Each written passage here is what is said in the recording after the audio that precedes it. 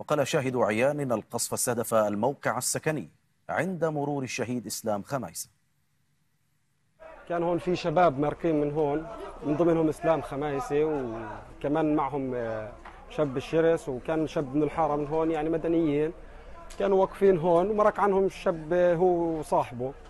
فبنتفاجئ إنه في صوت ضرب بالمنطقة هون فإحنا مش واعيين لهذا الحكي. طلعنا مباشرة يعني نركض.